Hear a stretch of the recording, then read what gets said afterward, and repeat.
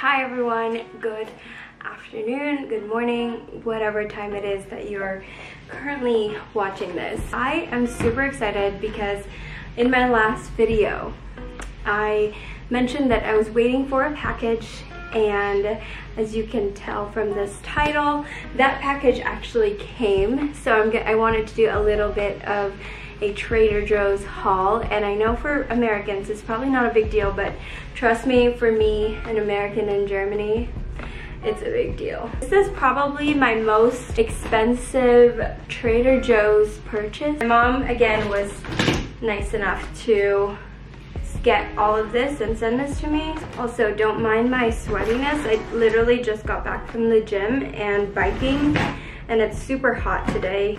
The shipping for this costed $83.10. So expensive. Value of what is in this box is $60. So do the math and that's super expensive. She even included the Trader Joe's bag here.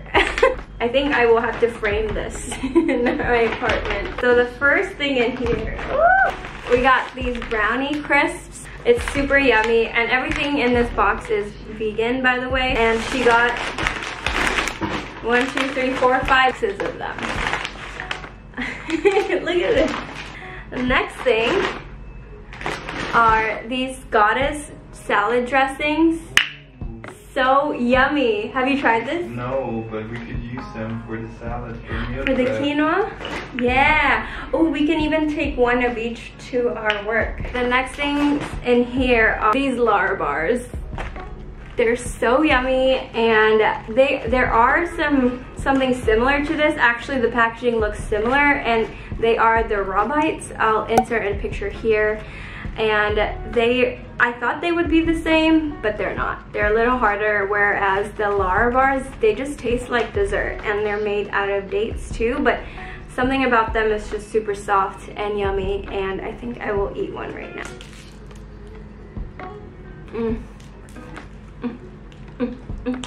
Next fun things are these, they're super like vacuumed but they're the rolled corn tortilla chips and the chili and lime. They remind me so much of Takis, but better. Just have like an extra flavoring of, of like kick in there, so it doesn't taste as chemically as the Takis. Got four of those right here. And now for the star of the show, we have nutritional yeast. Yay! we have six of them, which I wish we had like 10 of them or a hundred of them. If you are out there and you're my friend, please send me some nutritional yeast. That's it. That's all that we got. Super excited and I'm probably gonna dig in on these tortilla chips and of course this Larabar. Let me know down below if you've tried any of these snacks and if so, which one's your favorite. And if you haven't tried it, go ahead and give it a try and let me know as well on Instagram or on here what you thought of them. So yeah, I will see you on the next one. Cheersy!